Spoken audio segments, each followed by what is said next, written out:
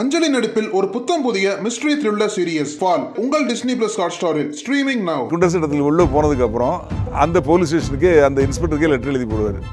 இதே மாதிரி என்ன வந்து குண்டர்ஸ் இடத்துல போட்டீங்களா? உங்கள் ஏரியாவில் வரிசையாக திருடு நடக்கும் பாருங்க அப்படின்னு. திருட போகிற இடத்துல அந்த வீட்டில் ஹார்லிக்ஸ் இருந்தால் ஹார்லிக்ஸ் போட்டு சாப்பிடுவார். இது வந்து ஒரு அரசியல் கட்சியில் இருந்தாங்க. அவங்க வந்து இந்த மாதிரிலாம் ஒரு வாட்டி அவங்களே பிடிச்சி கொடுத்துருக்காங்க போலீஸில் மனைவியை கணவரை பிடிச்சி மனைவி கொடுத்துட்டாங்களா? வேலூர் ஜெயிலில் இருக்கிறவரோட கயிறு இங்கே எப்படி வந்தது இந்த சீனில் குற்றம் நடந்த இடத்துல எப்படி வந்தது அவரோட சந்திப்பு உருவாயிட்டாரு. ரைட்டு கும்பல் விரட்டிட்டு வராங்கன்னா இவரு ஓடிட்டு போய் ஐயோ இந்த பக்கம் ஓடுறான் பாரு இந்த பக்கம் போகிறான் அவங்கள இவரே டைரக்ஷன் மாற்றி விடுவாரு அதான் வடிவேல் என்னெல்லாம் பண்ணுவாரோ அதெல்லாம் பண்ணுவார். சிரிப்பு திருடன் சிங்காரவேலு மாதிரி.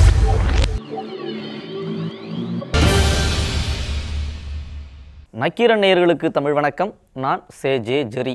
தடயம் எனும் தொடர் மூலம் உங்களை சந்திப்பதில் பெருமகிழ்ச்சி ஓய்வு பெற்ற காவல்துறை அதிகாரி ராஜாராம் அவர்கள் நம்முடன் பல்வேறு வழக்குகள் தொடர்பான சுவாரஸ்யமான விஷயங்களை பகிர்ந்து கொள்ள வந்திருக்கிறார். அவரை வரவேற்போம். வணக்கம் சார்.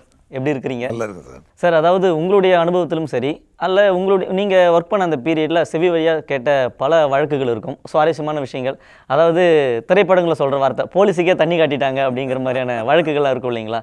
ஸோ அந்த மாதிரியான சுவாரஸ்யமான வழக்குகள் இருக்குங்களா? நான் சொல்கிறேன் அதை பற்றி ஒரு கேஸை பற்றி சொல்கிறேன் ஒரு திருடர் அவர் வந்து எப்படின்னா பகலில் தான் வீட்டை உடைச்சி திருடக்கூடியவர். டே ஹவுஸ் பிரேக்கிங் அப்படின்னு சொல்லுவாங்க. அந்த மாதிரி பண்ணக்கூடிய மாலை கண்ணுவீங்களா ஆமாம் இல்லை அவருக்கு வந்து கண்ணு கொஞ்சம் இரவுல கொஞ்சம் கஷ்டம் அப்படிங்கிறதுக்காக பகலில் தான் பண்ணுவார். அவர் வந்து நீங்கள் ஒரு திருடனே சொல்ல முடியாது. அவ்வளோ நீட்டாக ட்ரெஸ் பண்ணுவார். பார்க்கல சினிமா ஸ்டார் மாதிரி இருப்பார். டக்கின் பண்ணி ஷூ போட்டு நிம்மதி ரொம்ப பிரைட்டாக இருப்பார். அவர் வந்து பகல் நேரத்தில் அப்படி நோட்டம் விடுவார். நோட்டம் விட்டு எந்த வீடு பூட்டியிருக்கோ அந்த வீட்டை ஒரு நாள் ரெண்டு நாள் பார்த்துட்டு மூணாவது நாள் க்ளீனாக கரெக்டாக போய் ஒரு சின்ன ராடு மாதிரி வச்சுருப்பார். அதை வச்சு ஓப்பன் பண்ணிவிடுவார் ஓப்பன் பண்ணி உள்ளே போய் வேல்யூபிள்ஸ் கேஷு அதே மாதிரி நகைகள் இதை தான் திருடுவார். திருடி எடுத்துகிட்டு வந்துடுவார் அந்த காலத்தில் வந்து கலர் டிவி வந்த புதுசு. எயிட்டிஸில் வந்து கலர் டிவி டெக் அது ரொம்ப ஃபேமஸ் அந்த சமயத்தில் என்ன பண்ணுறாரு நம்ம நுங்கம்பாக்கத்தில் வந்து அந்த இசிஐ குவார்ட்டர்ஸ்னு இருக்குது இசிஐ ஹாஸ்பிட்டல் இருக்குது பக்கத்தில் குவார்ட்டர்ஸ் இருக்குது அந்த குவார்ட்டர்ஸ்குள்ளே போகிறாரு அங்கே பூட்டி இருக்குது வீடு. வீடு பூட்டி இருக்கணும் ஒரு வீட்டை உடைச்சி உள்ள இருக்க டிவி டெக்கு இது மாதிரி வேல்யூஸ்லாம் எடுத்துகிட்டு அந்த பெரிய சிடி இருக்கும். ஆமாம் அது அதெல்லாம் எடுத்துகிட்டு வராரு. எடுத்துகிட்டு வந்து வெளியே எடுத்துகிட்டு போக முடியல. வாசலுக்கு வந்துட்டு உடனே அங்கே இருக்க செக்யூரிட்டியை கூப்பிடுறாரு. என்னோட சிஸ்டர் வீடு காலி பண்ணி எடுத்துகிட்டு போகிறேன் ஒரு ஆட்டோ கூட்டு வாங்க அப்படிங்கிறாரு. செக்யூரிட்டியே ஆட்டோ கூட்டு வராரு. கூட்டு வந்து அந்த ஆட்டோவில் ஏற்றிட்டு செக்யூரிட்டிக்கு ஒரு பத்து ரூபா டிப்ஸும் கொடுத்துட்டு கொடுத்துட்டு கிளம்பிடுறாரு. அதுக்கப்புறம் பார்த்ததுக்கப்புறம் தான் அந்த இடத்துல கைரேகை இருக்குது. போலீஸுக்கு இன்ஃபார்ம் பண்ணி அவங்க வந்து பார்த்து கைரேகை வச்சு இவர் தான் சொல்லி பிடிக்கிறாங்க. இவர்கிட்ட வந்து என்ன ஒரு நல்ல பழக்கம் அப்படின்னா காவல்துறை வந்து இவரை பிடிச்சிட்டாங்க அப்படின்னா உண்மையை சொல்லிடுவார். பொதுவாக வந்து இந்த குற்றவாளிகள் கிரைம் குற்றம் பண்ணக்கூடியவங்க வந்து ஹார்டன் கிரிமினலாக இருப்பாங்க. ஈஸியாக உண்மையை சொல்ல மாட்டாங்க. இவர் உண்மையை சொல்லிடுவார். அப்படி அவர் நடந்த வரைக்கும் சொல்லிட்டாரு. இன்னும் கேஸ் இருக்கா? இருந்தா சொல்லு. என்ன பண்ணியிருக்கேன்னு சொல்லி ரொம்ப டார்ச்சர் பண்ணோம்னா அதுக்கு எகென்ஸ்டாக பண்ணி விட்டுருவார் இவர் வந்து இந்த சிரிப்பு திருடன் சிங்காரவேலு மாதிரி ஏற்கனவே ஒருத்தர்கிட்ட நகையை கொடுத்துருப்பாரு வித்திருப்பாரு. அது வந்து போலீஸ்கிட்ட மாட்டி அதை ரெக்கவரி பண்ணியிருப்பாங்க. அப்போ திரும்பி அவங்களே திருப்பி அந்த ஆளை காட்டி விட்டுருவாரு. திருப்பி அவர் வந்து கேட்டாச்சுன்னா அவர் என்கிட்ட இல்லை நான் ஏற்கனவே கொடுத்துட்டேன் அப்படிம்பாரு. அப்போ அவரும் போலீஸும் தான் சண்டை போட்டுட்டு இருக்கணும். ஆக இவர் வந்து பார்த்து வேடிக்கை பார்த்துட்டு இருப்பாரு. அது மட்டும் இல்லை திருட போகிற இடத்துல அந்த வீட்டில் ஹார்லிக்ஸ் இருந்தால் ஹார்லிக்ஸ் போட்டு சாப்பிடுவாரு. நம்ம வடிவேல் மாதிரி தான். வடிவேலு. ஒயின் ஷாப்புக்கு ஃபோன் பண்ணி கேட்பதில்ல கடை எப்போ சார் அதே கூட அது கூட. அங்க ஏற்கனவே அவர் தண்ணி அடிக்கிற ஆளா இருந்தாரு அந்த வீடு திருடு கொடுத்தவர். அங்க ஃப்ரிட்ஜில் இருந்துன்னா அதை எடுத்து உட்காந்து பொறுமையா அடிச்சுட்டு தான் போவாரு. ரைட் நம்ம வடி கிட்டத்தட்ட வடிவேல் காமெடி கொடுத்து ஒரே போகுது மாதிரிதான். சாப்பிட கூட ஐட்டங்கள் இருந்துச்சுன்னா அழகா சாப்பிட்டு சோபா இருந்தா நிம்மதியா படுத்திருந்து அவருக்கு தெரியும் இந்த நேரத்துக்கு வரமாட்டாங்க இப்போ தான் வருவாங்க வேலைக்கு போயிருக்காங்க அப்படின்னு தெரிஞ்சு ஒரு ஹாபியாவே பண்ணியிருக்காரு. ஆமா தொழில். கம்ப்ளீட்டா இன்னும் இப்பவும் இருக்கிறார் ஈஸ் அலைவ் ஓ. ஆமா. இப்போ வேலூர்ல இருக்காரு அவரு. இப்போ அடுத்த டீம் அவரோட சன் இப்போ உருவாயிட்டாரு. ரைட்டு குலத்தொழில் மாதிரி. ஆமா. அது மாதிரி இப்போ அவர் உருவாகி இப்போ அவர் பண்ணிட்டு இருக்காரு. இவங்க வந்து ஒரு வாட்டி இது மாதிரி பண்ணது ஒரு பெரிய இன்ட்ரெஸ்டிங்கான கேஸ் அப்போ அந்த எயிட்டிஸில் வந்து எம்ஜிஆர் சிஎம் இருக்காங்க. அந்த சமயத்தில் வந்து ஒரு அமைச்சர் ஒரு மூத்த அமைச்சர் எம்ஜிஆரோட வயசில் பெரியவர் எஸ்டி சோமசுந்தரம்னு அவங்க அமைச்சராக இருக்காங்க. அப்போது அவங்களோட பிஏ பிஏ வீட்டில் இந்த மாதிரி டேயில் வந்து ஹவுஸ் பிரேக்கிங் ஆயிடுது கைவரிசையை அது காட்டிட்டாரு நிறைய திருடு போயிருது. அப்புறம் அங்கே நைட்டு ஈவினிங்கில் வந்து பார்க்குறாங்க பார்த்துட்டு உடனே போலீஸ் சொல்கிறாங்க அவர் மினிஸ்டருக்கு சொல்கிறாரு மினிஸ்டர் உடனே கமிஷனர்கிட்ட பேசுகிறாரு கமிஷனர் நாலேஜுக்கு போனோடனே கமிஷனர் கேட்குற என்ன இது மாதிரி ஆமாம் நடந்திருக்கு உண்மை அப்படின்னோடனே எப்படி உடனே கண்டுபிடிச்சாகணும்?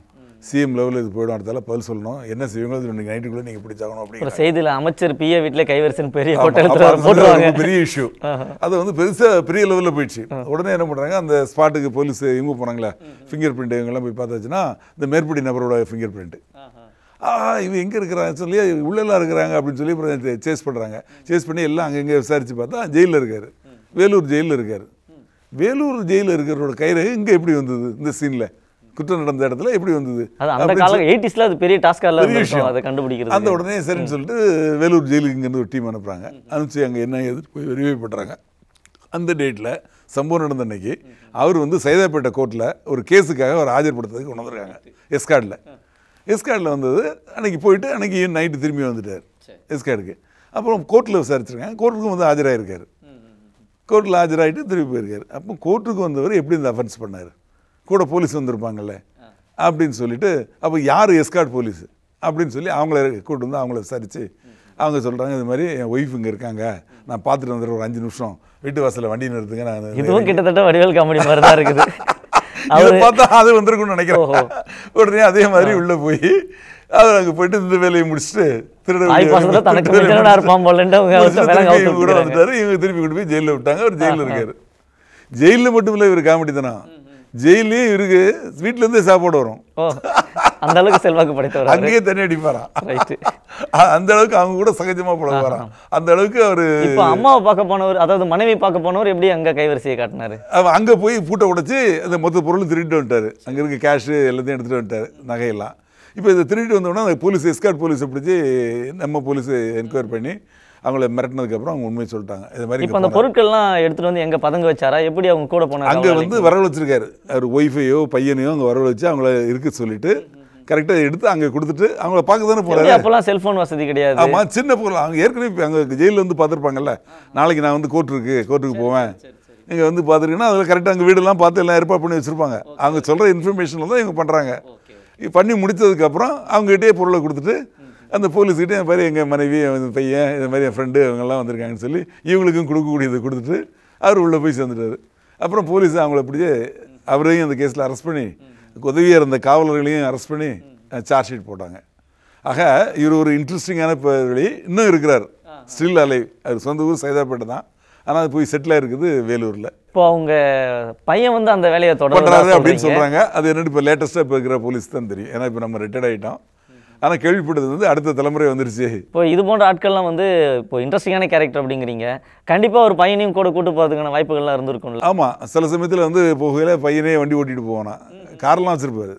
கார் அவர் ஓட்டிட்டு போவார் இவர் அதில் போவார். ஒரு செல்வ செழிப்பா தான் இருந்திருக்கிறாரு. அது மட்டும் இல்லை இவரை குண்டாஸ் போட்டு குண்டஸ் இடத்துல போட்டாச்சுன்னா. அந்த குண்டஸ் இடத்துல உள்ளே போனதுக்கு அப்புறம் அந்த போலீஸ் ஸ்டேஷனுக்கே அந்த இன்ஸ்பெக்டருக்கே லெட்டர் எழுதி போடுவார்.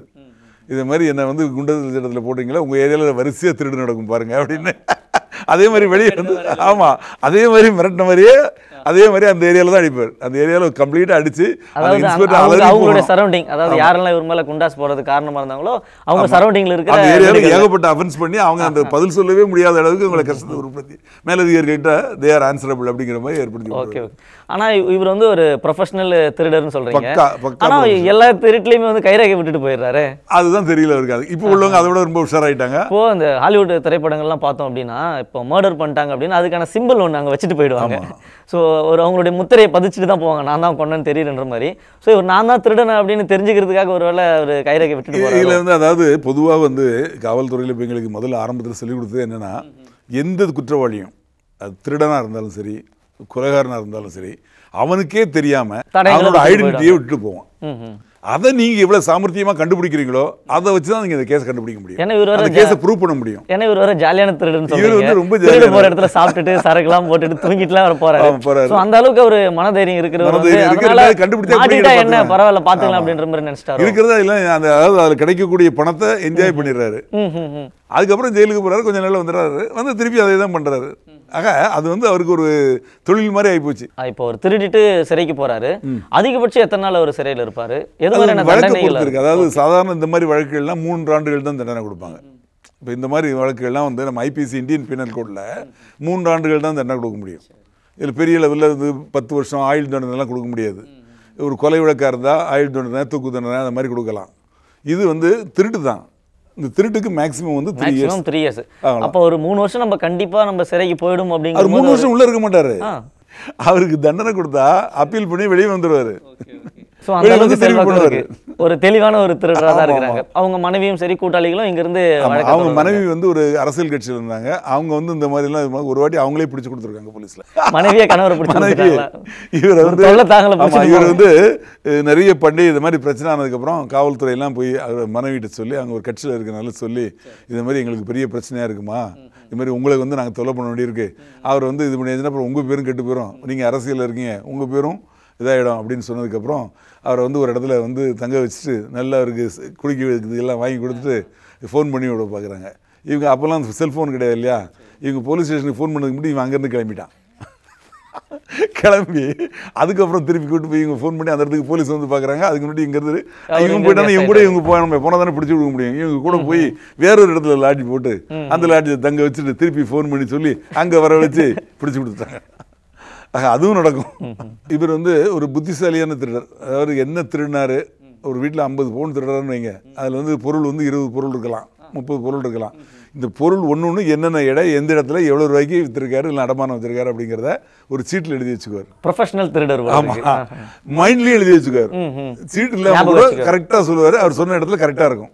அதுல எந்த மாற்றமும் இருக்காது. திருடங்கிட்டே திருடிட்டா என்ன பண்றது? ஆமா, அதனால அதனால தெளிவா ரொம்ப தெளிவா இருந்திருக்காரு. இருப்பாரு. அதே மாதிரி ஒரு இடத்துல திருட போய் பார்த்துட்டாங்க இல்லை சேஸ் பண்றாங்க விரட்டுறாங்க கும்பல் விரட்டிட்டு வராங்கன்னா இவரும் ஓடிட்டு போய் ஐயோ இந்த பக்கம் ஓடுறான் பாரு இந்த பக்கம் அவங்கள இவரே டைரக்ஷன் மாற்றி விடுவார். அதான் வடிவேல் என்னெல்லாம் பண்ணுவாரோ அதெல்லாம் பண்ணுவார். சிரிப்பு திருடன் சிங்கார வேலு மாதிரி. இவ்வளவு விஷயங்களும் பண்றாரு. இப்போ உங்க மனைவி வந்து இந்த அரசியல் செல்வாக்கை வந்து எங்க பயன்படுத்தினாங்களா? இல்லை அவங்க கொஞ்சம் டீசெண்டான டைப். கணவன் மனைவி அவ்வளோதான் இவருமே டீசெண்டா தான் இருக்கிறாரு ஆனா செய்யற வேலை இந்த மாதிரி. பண்றாரு அவங்க அந்த மதுக்கெல்லாம் இது பண்ண அவங்களே பிடிச்சு கொடுத்துருக்காங்களே. இப்போ அவங்க வந்து ஒரு கெட்ட லேடியாக இருந்தா இவரோட எல்லா செயலுக்கும் துணை போவாங்க இல்லையா? இப்போ அவங்களே வந்து ஒரு வாட்டி பிடிச்சு கொடுத்துருக்காங்கல்ல இவரை.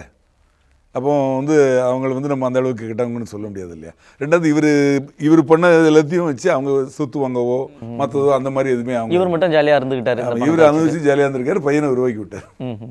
இப்போ உங்க பையன் எப்படி இருக்கிறாரு? இதே தொழில் தான் இதுதான் பண்ணிட்டு இருக்காருன்னு சொல்றாங்க. இப்போ நான் டிபார்ட்மெண்ட்லேருந்து ரிட்டையர்ட் ஆகிட்டனால இப்போ லேட்டஸ்ட் விஷயங்கள் தெரியும். இப்போ பொதுவா இந்த மாதிரி குற்றங்கள் செய்கிறவங்க வந்து அவருக்கு வந்து ஈஸி ஆயிடுச்சு. சிறைக்கு போறது வரதெல்லாம் அந்த நுணுக்கங்கள்லாம் தெரிஞ்சு போச்சு. இப்போ எப்படி வழக்கு தொடர்ந்தா இல்லை எப்படி பெயில் வாங்குறது? சிறைக்குள்ள இவ்வளவுதான் விஷயம்னு நிறைய எல்லா விஷயங்களும் புரிஞ்சுக்கிட்டாரு தெரியும். இல்லைங்களா? அதுல ஒரு அப்போ அவர் வந்து. பெரிய தவறுகள் செய்யறது கூட தயங்க மாட்டார் இல்லைங்களா? ஸோ அவர் இவருக்கு வரல. இவருக்கு இதே போதும். இதுலயே சந்தோஷமா இருந்திருக்காரு.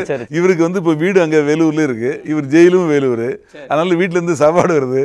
அதனால இவருக்கு இவருக்குன்னு ஒரு செட் ஆஃப் லாயர்ஸ் இருப்பாங்க கரெக்டாக அந்த சமயத்தில் பெயில் எடுத்துருவாங்க. ஆக அவங்களுக்கு என்னென்ன பணம் கொடுக்கணுமோ அதை கரெக்டாக கொடுத்துருவாரு. ஆக இவருக்குனே ஒரு ஒரு ஒரு ராஜ்யத்தை ஏற்படுத்திக்கிட்டு ஒரு சந்தோஷமான அவர் ஒரு தொழிலாவும் வச்சுக்கிட்டாரு ஒரு வச்சுக்கிட்டாரு. ஹாபியாகவும் ஜாலியாகவும் இருந்திருக்கு. என்ஜாய் பண்ணி பண்ணியிருக்காரு. ஸோ இப்போ அவரை பிடிக்க போயிட்டு வேற ஏதாவது அசம்பாவிதங்கள் ஏதாவது நடந்துருக்குதுங்களா? அந்த மாதிரிலாம் வந்து போலீஸ் அசால்ட் பண்ணுறது அந்த மாதிரிலாம் பண்ண மாட்டார். பார்த்து பிடிச்சிட்டாங்கன்னா தெரிஞ்ச போலீஸ் இருந்தாங்கன்னா கூட்டாளில் நின்றுவார். டீசெண்டாக கொடுத்துட்டு போயிடுவார். இவ்வளோதாங்க இப்ப அவர் போறாரு விரட்டிட்டு போறாங்க பார்க்கல. திரும்பி தெரிஞ்ச போலீஸ்னா ஏய் இப்ப அப்படின்னு அவர் பேரை சொல்லியாச்சுன்னா நின்றுவார். என்ன சார்? அப்படிம்பாரு என்ன விஷயம் வாடா அப்படின்னா வந்துடுவார் வந்து என்ன விஷயம்? எது என்ன பண்ணிருக்கே? எது சொல்லுனா சொல்லிடுவார். இது தெரியாத அந்த ஒரு வாட்டி. பிடிச்சவர் இவர் அடிச்சிருக்காரு உதச்சிருக்காரு கை பிடிச்சிருக்காரு கால் பிடிச்சிருக்காருன்னா அவருக்கு இவர் வேலை கட்டுவார். வேலை காட்டும் ஏதோ அங்க இருக்கு சம்பவம் இருக்கு அப்படிங்கிற வேலை கட்டுவார். பட் போலீஸை இவர் அசால்ட் பண்ணக்கூடிய டைப் கிடையாது. அடுத்த நேர்காணலில் இன்னும் சுவாரஸ்யமான விஷயங்களை உங்களுடைய அனுபவத்திலிருந்தோ அல்லது உங்களுடைய செவி வழியா கேட்ட செய்திகளையும் இருந்தாலும் சரி அந்த வழக்கு தொடர்பாக நம்ம விவாதிக்கலாம். நன்றி சார் வணக்கம். நக்கீரன் டிவிக்கு சப்ஸ்கிரைப் செய்யுங்கள். உங்கள் ஆதரவே எங்கள் பலம் ஆசிரியர்களுக்கு நண்பனாகவும் மாணவர்களுக்கு ஆசானாகவும் திகழும் தேர்வு வழிகாட்டி. ஒவ்வொரு பாடத்திற்கும் அனுபவமிக்க ஆசிரியர்களின் துல்லியமான தெளிவான விடைகள். சிஎன்சி இருக்கு. தேர்வு பயம் எதற்கு? இது தீரன் பப்ளிஷிங் ஹவுஸ் விற்பனை வெளியீடு.